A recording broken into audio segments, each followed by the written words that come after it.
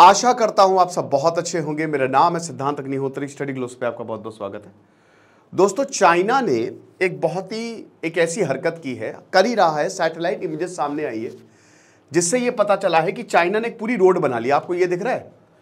ये पतली सी रोड जा रही है ना? ये पतली नहीं खैर, चौड़ी रोड है जो कि चाइना ने बनाई है। अब चाइना ने इसको बनाया कहाँ है? भारत के रीजन में।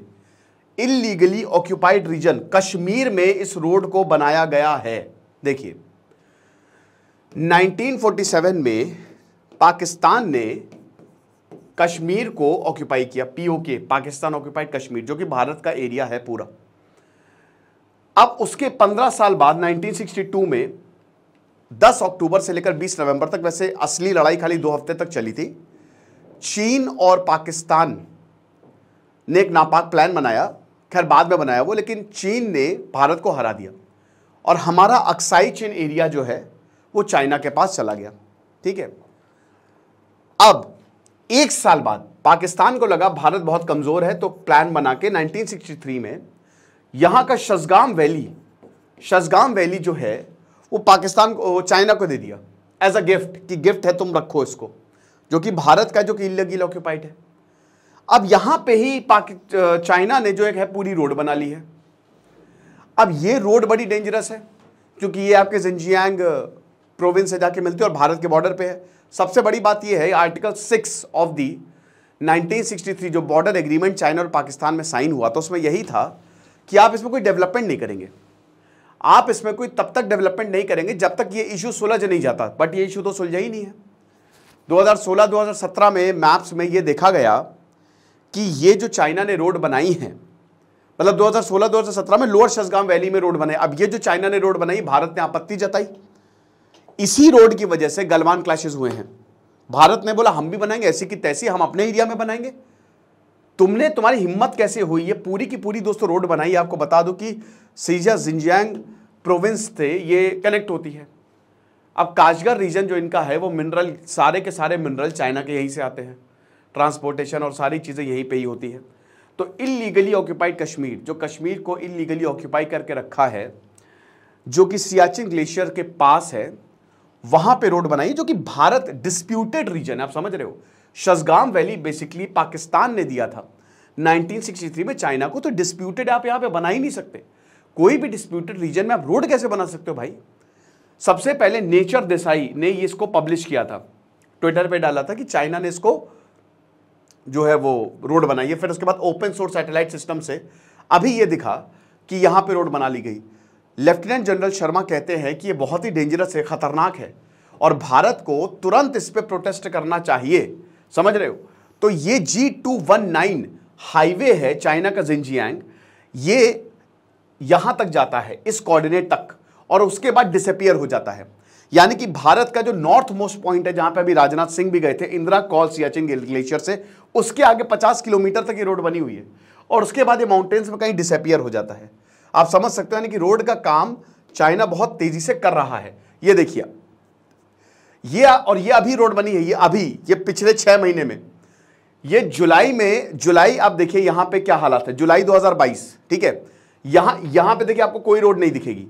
ठीक है, जुलाई 2000 इंडिया टुडे का ये आर्टिकल है बेसिकली अब अगस्त, एक साल बाद आपको ये रोड पूरी की पूरी देखने को मिल गई। तो जुलाई तक आपको कोई रोड ये देखिए, जुलाई कोई रोड नहीं है। अब उसके बाद तुरंत अगस्त में आप देखिए, ये रोड आपको दिखती हुई। तो बेसिकली ये एक साल के अंदर अंदर अब अभी तक यहाँ पे रोड नहीं बनाई गई।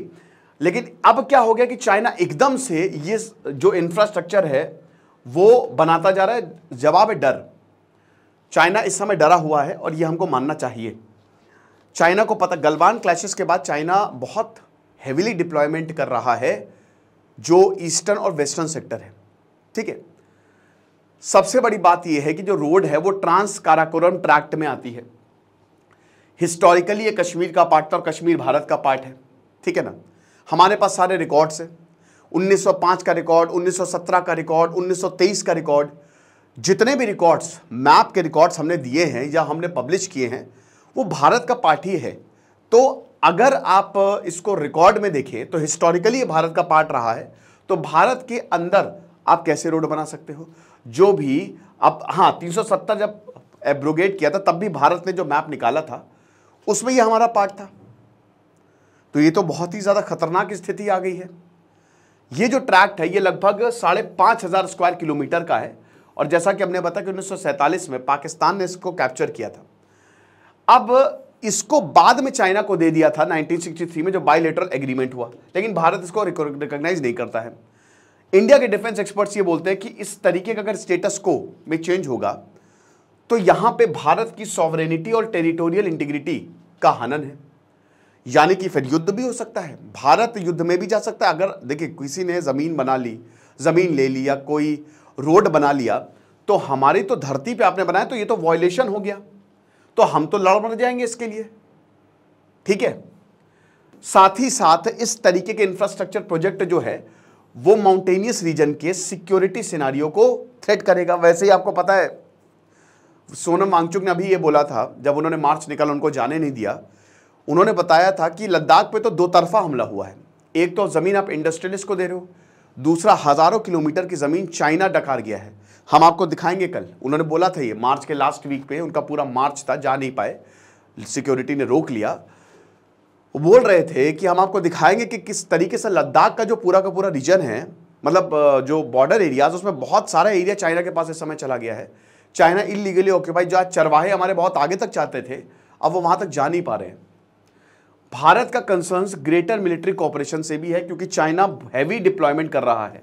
पाकिस्तान गिलगिट बाल्टिस्तान 2021 में इन्होंने एक रोड अनाउंस की। अब अब ध्यान से सुनिएगा, जो कि मुजफ्फराबाद, जो कि पाकिस्तान ऑक्यूपाइड कश्मीर की कैपिटल है, से मुस्ताक पास तक। अब ये रोड जो है, वो शजगाम वैली से कनेक्टेड है। और चाइना भी शजगाम वैली से कनेक्टेड रोड जो है, वो बता रहा है। तो यानी कि यहाँ से, ये जिंजियांग तक आसानी से आप इसको डाइवर्ट कर सकते हैं, और ये शजगाम वैली से पास होगी। कहने का मतलब ये है कि एक पाकिस्तान से रोड जा रही है चाइना से रोड जा रही है, वो मिलेंगी आपस में। यानी कि अगर फ्यूचर में चाहे तो पाकिस्तान चाइना के लिए आसान हो जाएगा अपनी मिलिट्री, दोनों के लिए अपनी मिलिट्री डिप्लॉय करना। और भारत वैसे ही टू फ्रंट वॉर की जो है वो मुहाने पे खड़ा हुआ है।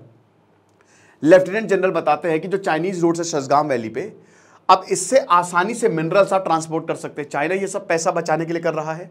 मैंने क्या बताया कि जो काज, दो, अभी एक रिपोर्ट छपी थी यूके में 2050 तक भारत और चीन का अगला युद्ध होगा और ये काजगर रीजन की वजह से होगा। भारत भी इंफ्रास्ट्रक्चर डेवलपमेंट कर रहा है और काजगर रीजन ब्लॉक करेगा। और काजगर मेन एनर्जी सोर्स है। चाइना का जो मेन एनर्जी है वो यहीं से ही आती है तो यूरेनियम आसानी से और जो कि गिलगिट बाल्टिस्तान से ये माइन करते हैं। पाकिस्तान का जो गिलगिट बाल्टिस्तान, जो कि भारत का एरिया है, वहाँ से यूरेनियम माइन किया जाता है। सोचिए माउंटेनियस रीजन से। हम इतना क्लाइमेट चेंज की बात करते हैं माउंटेन्स की इकोलॉजी की बात करते हैं बट चाइना में तो धड़ल्ले से इसका हनन हो रहा है और उसको आसानी से जिंजियांग में ट्रांसफ़र कर दिया जाएगा, इसीलिए ये रोड बनाई गई है। तो लगातार आप इसको देखते रहे, क्योंकि ये रोड मिलिट्री के लिए भी यूज़ हो सकती है। साथ ही साथ अघिल पास से ये रोड जो है, वो जाती है, जो कि एक डिस्प्यूटेड रीजन है। है ना? पास मतलब दो दर्रा क्या होता है? दो पहाड़ों के बीच की जगह। पहाड़ को काट के जो रोड बनाई जाती है जो चीज़ें जाती हैं। तो हिस्टोरिकली जो है ये कश्मीर से तिब्बत का फ्रंटियर था। चाइनीज़ रूरल्स हमेशा इसको बोलते हैं कि भारत का ही पार्ट रहा है। अघिल पास और शसगाम वैली ये भारत ने रिकॉर्ड दिए हैं बाकायदा मैप्स में दिखाया है। और ऑफिशियल अगर चाइनीज़ मैप्स की बात करें 1917, 1919, 1923, 1905 तो ये दिखाया है कि ये भारत का ही पार्ट रहा है। लेकिन इस समय ये चाइना जो है यहाँ पे कब्जा करके बैठा हुआ है। तो जैसा कि हमने बताया कि यहाँ पे भारत का स्टैंड क्लियर है कि पूरा पीओके हमारा है। भारत ने अपना स्टैंड क्लियर किया है। पाकिस्तान और चाइना ने एक एग्रीमेंट साइन किया है। लेकिन भारत और चाइना ने ऐसा कोई एग्रीमेंट साइन नहीं किया है। भारत और पाकिस्तान ने 1972 में शिमला एग्रीमेंट बॉर्डर के लिए साइन किया था। तो सबके एग्रीमेंट साइन है बट चाइना के एग्रीमेंट साइन नहीं है, जिसकी वजह से दिक्कत होगी। और मुझे लगता है यही बॉर्डर इशू भारत और चीन के रिश्ते बिगाड़ेगा। बट ये बहुत ही चिंताजनक है। तो भारत को इसका संज्ञान लेना चाहिए। हालाँकि भारत भी लगातार इंफ्रास्ट्रक्चर डेवलपमेंट कर रहा है। खुश रहिए, पढ़ते रहिए। दिस इज़ सिद्धांत अग्निहोत्री साइनिंग ऑफ़